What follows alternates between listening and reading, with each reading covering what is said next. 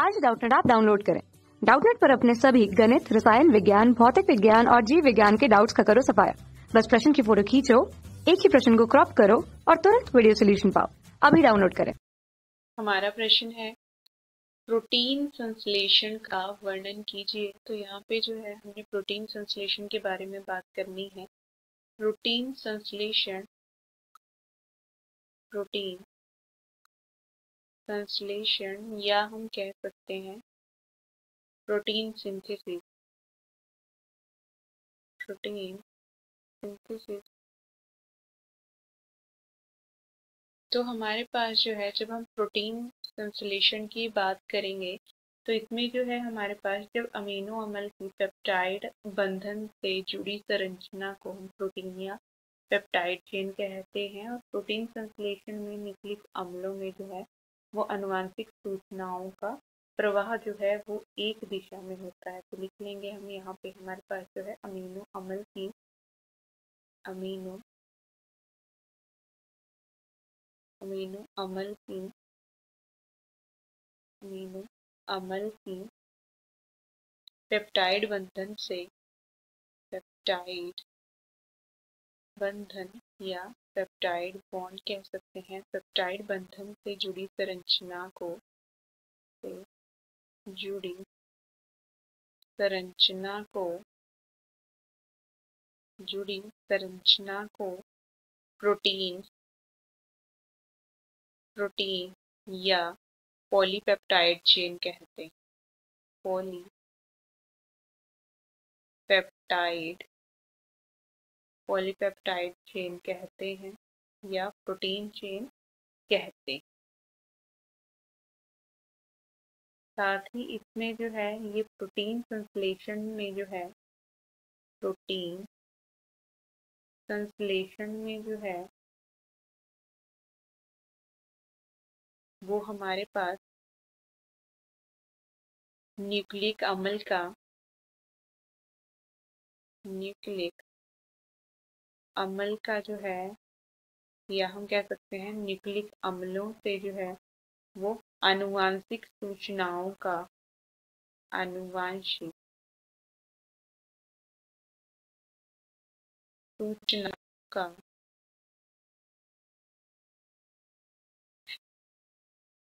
प्रवाह जो है, वो एक दिशा में होता है। अनुवांशिक सूचनाओं का प्रवाह जो है, वो एक दिशा में होता है। एक दिशा में होता है। साथ ही जब हम बात करेंगे कि प्रोटीन संश्लेषण जो है, इसकी प्रक्रिया जो है हमारे पास, ये हमारे पास जो है, वो दो चरणों में पूरी होती है। दो चरणों में पूरी होती है। पहला चरण है हमारे पास ट्रांसक्रिप्शन ट्रांसक्रिप्शन और जो दूसरा चरण है हमारे पास, वो है ट्रांसलेशन। ट्रांसलेशन। इन दो चरणों में जो है, वो हमारे पास प्रोटीन संश्लेषण की प्रक्रिया जो है, वो पूरी होती है। अगर हम बात करें पहले ट्रांसक्रिप्शन की ट्रांसक्रिप्शन की जब हम बात करते हैं तो हमारे पास क्या है? ट्रांसक्रिप्शन में जो है, ये हमारे पास जो है, वो डीएनए से जो है, अनुवांशिक सूचनाओं को एमआरएनए में स्थानांतरित, स्थानांतरण को ट्रांसक्रिप्शन कहते हैं। जब भी हमारे पास जो डीएनए से अनुवांशिक सूचनाएँ होती हैं, अनुवांशिक सूचनाएँ होती हैं, उन सूचनाओं को जो है, सूचनाओं का क्या किया जाता है? सूचनाओं का जो है एमआरएनए में एमआरएनए में जो है वो स्थानांतरण किया जाता है। इसको हम क्या कह देते हैं? इसको हम ट्रांसक्रिप्शन कह देते हैं। साथ ही इसमें क्या है? आरएनए पॉलीमरेज एंजाइम द्वारा जो है ये प्रक्रिया संपन्न होती है। ये जो प्रक्रिया होती है, ये हमारे पास RNA RNA polymerase enzyme RNA polymerase enzyme द्वारा जो है, वो संपन्न की जाती है, उसके द्वारा संपन्न होती है। इसमें जो है, हमारे पास क्या होता है? ट्रांसक्रिप्शन में जो है, वो डीएनए के जो है प्रोमोटर हिस्से में इस एंजाइम को, इस एंजाइम के बंधने से ही बाद ही ये प्रक्रिया प्रारंभ होती है। जब हमारे पास क्या होता है? डीएनए होता है। डीएनए के जो प्रोमोटर हिस्सा होता है, जहाँ से जो है, हमारे पास क्या होता है? प्रक्रिया शुरू होता है। वहाँ पे जाके जब हमारे पास क्या होगा प्रोमोटर हिस्से पे जो है, ये एंजाइम जो है, वो बंधेगा, तब ये प्रक्रिया जो है, वो प्रारंभ हो जाएगी।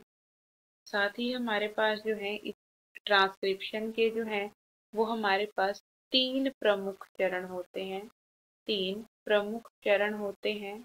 इसमें है हमारा पहला जो चरण है, वो है इसमें हमारा प्रोमोटर से बंधन एवं आरण्य श्रृंखला का प्रारंभ।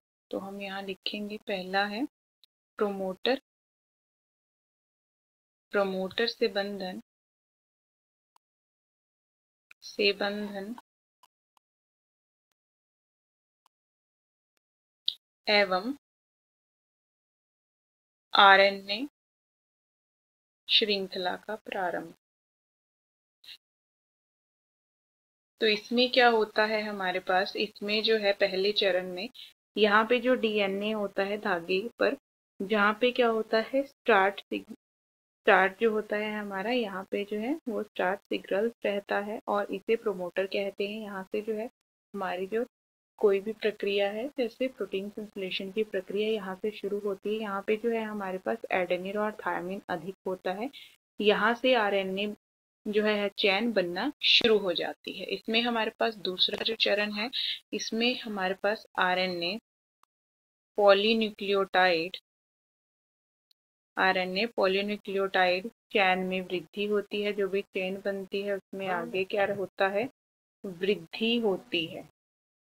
आरएनए पॉलीन्यूक्लियोटाइड चैन में वृद्धि से मेरा अभिप्राय इसमें जो आरएनए पॉलीमरेज होता है, वो डीएनए के नाइट्रोजन बेसों में जो है, वो प्रतिलिपि तैयार करता है, जिसकी वजह से जो है, वो डीएनए का सिर्फ़ एक स्ट्रैंड जो है, इसमें एक भाग लेता है और जो हमारे पास एमआरएनए है एमआरएनए की लंबाई में वृद्धि पाँच प्राइम से तीन प्राइम की ओर होती है।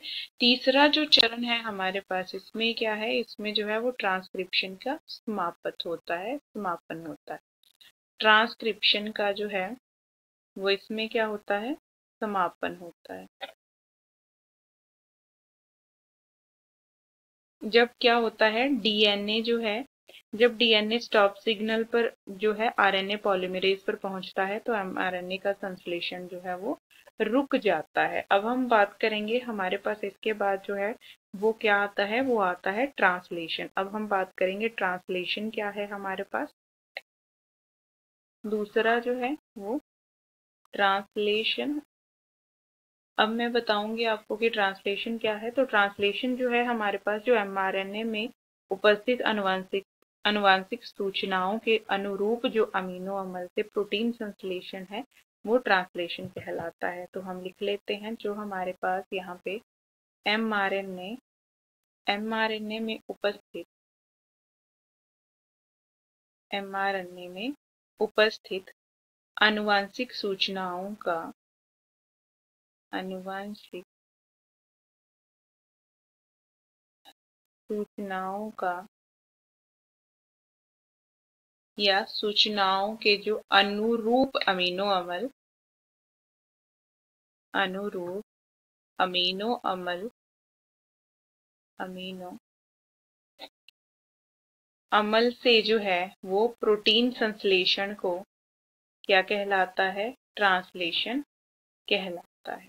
प्रोटीन संश्लेषण जो है, वो ट्रांसलेशन कहलाता है और ट्रांसलेशन की क्रिया जो है, वो कहाँ पे होती है? ये होती है हमारे पास राइबोसोम्स में होती है। राइबोसोम्स में होती है और एमआरएनए का जो एक कोडोन जो है, वो एक बार में क्या संदेश जो है पाँच प्राइम से जो भी हमारे पास ट्रांसलेशन का एक कोडोन है, वो क्या करता है? वो पाँच प्राइम से जो है, वो तीन प्राइम के किनारे की ओर अग्रसर करता है और किसी अमीनो अमल में जो है, वो साइटोप्लाज्म से एमआरएनए तक ले जाने में टीआरएनए होते हैं। जो भी हमारे किसी भी अमीनो अमल के जो है, वो साइटोप्लाज्म से जो है, वो एमआरएनए तक ले जाने के लिए यहाँ पे क्या होते हैं? टीआरएनए होते हैं।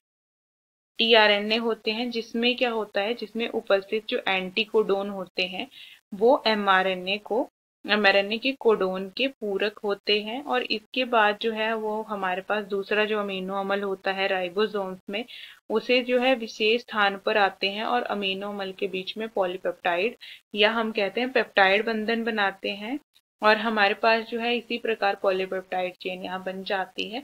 तो मैंने आपको यहाँ बताया कि टीआरएनए जो है, वो आगे तक ले जाते हैं किसी अमीनो अमल के साइटोप्लाज्म से जो है वो T M R N A तक ले जाते हैं। कौन ले जाते हैं? टीआरएनए ले जाते हैं अमीनो अमल को। अमीनो अमल को ले जाते हैं एमआरएनए तक टीआरएनए द्वारा। और जो इसमें उपस्थित हमारे पास एंटीकोडोन होते हैं जो हमारे पास एंटीकोडोन एमआरएनए होते हैं, वो हमारे कोडोन के पूरक होते हैं। कोडोन के जो हैं, वो पूरक होते हैं। और इस प्रकार जो हमारे पास जो कोई एक अमीनो अमल ये हो गया, जो दूसरा अमीनो अमल होगा, दूसरा अमीनो अमल जो होगा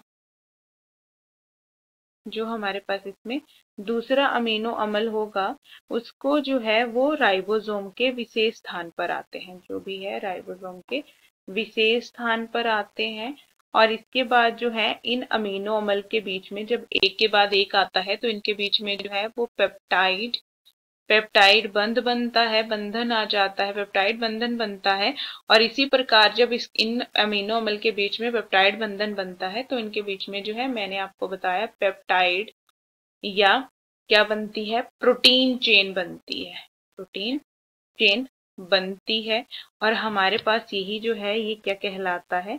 यही हमारे पास जो है वो प्रोटीन संश्लेषण कहलाता है और साथ ही हमारे पास इसके द्वारा क्या होता है अमीनो अमल जो है वो एक्टिव हो जाते हैं और इस प्रक्रिया को प्रोटीन का बनना कहते हैं, प्रोटीन का बनना शुरू हो जाता है। इसी प्रकार यही हमारे इस प्रश्न का उत्तर रहेगा। कक्षा छठी से बारहवीं से लेकर NEET I I T JEE वो एडवांस के लेवल तक। एक करोड़ से ज़्यादा छात्रों का भरोसा। आज ही डाउनलोड करें डाउट नेट ऐप या व्हाट्सएप करें अपने सारे डाउट्स आठ चार सौ चार सौ चार सौ पर।